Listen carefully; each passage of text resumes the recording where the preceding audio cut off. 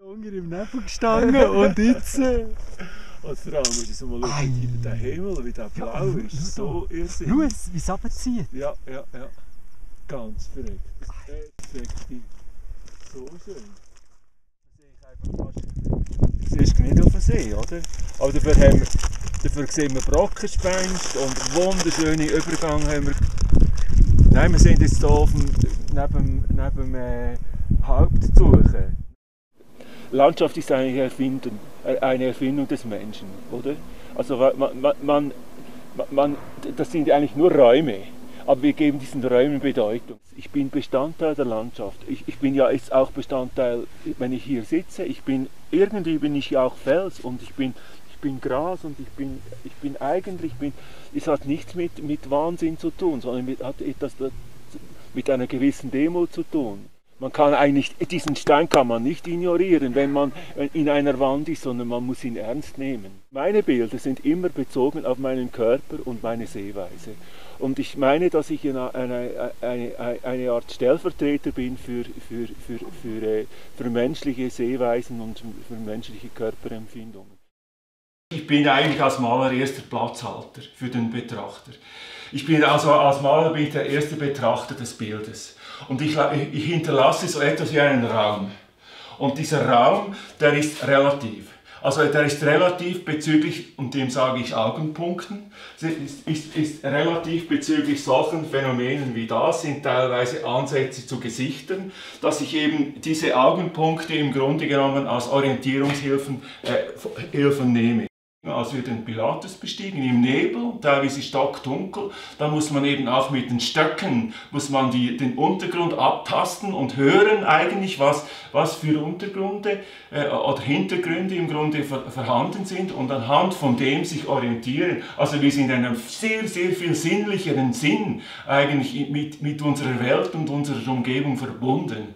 Und dieses... Äh, dieses Verbundensein und diese äh, eine Art Abstraktion, die ich äh, grundsätzlich diesen Bildern zugrunde lege, die, die ist äh, eigentlich Kulturgut. Also ich meine, wir, wir, wir, wir, wir, wissen eigentlich seit Jahren, was, was eine Karte ist, was ein Plan ist, das ist nicht die Wirklichkeit. Wir wissen, was ein Bild ist, das ist nicht die Wirklichkeit, sondern es ist etwas anderes, etwas, das über die Wirklichkeit sehr viel aussagt und eben auch über uns selber etwas, etwas aus, aussagt.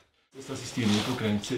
Und zwar, da ist das Crimsonhorn und hier bin ich als Ich-Körper eigentlich vorhanden. Und da ist der Nebel und im Grunde genommen passiert eigentlich, also ich erkläre nichts, sondern ich, ich versuche einfach das zu verstehen, wie ich das sehe. Hier passiert eigentlich zwischen diesen Augen und diesen Augen und irgendwie da, da, da wird so etwas wie ein Raum aufge, aufgespannt. Und darin ent, ent, ent, aktiviert sich dieses Geschehen, das ich da, also das wir da an diesem Morgen am, am letzten Freitag erlebt haben.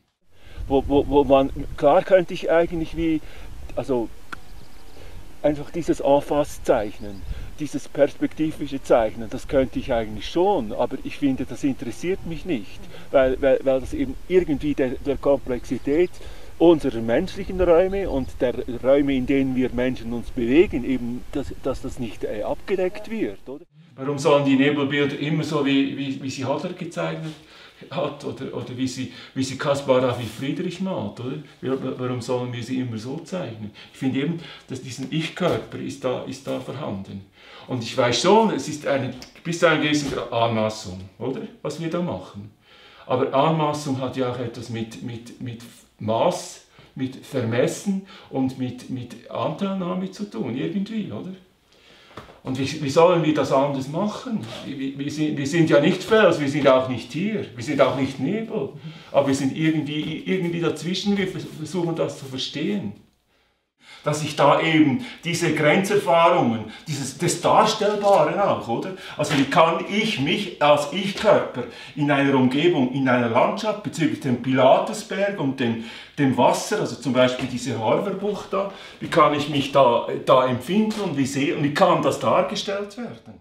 habe ich mich eigentlich immer auch mit den Augen beschäftigt und die Augenmechanik äh, oder die Augenbezüge, äh, Bezüge, die haben mich immer interessiert. Also was passiert eigentlich zwischen Netzhaut und Augenlinsen, nämlich im Hirn.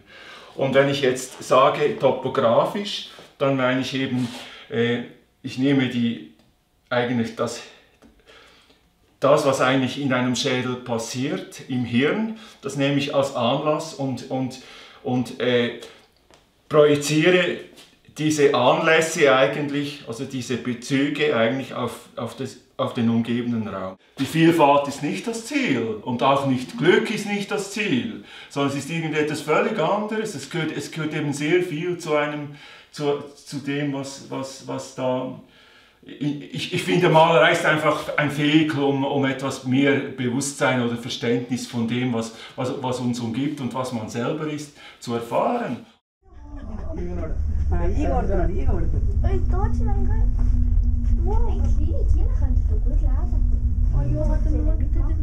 Jetzt, äh, in die Suppe. Aber nach der Ende, da wo wir.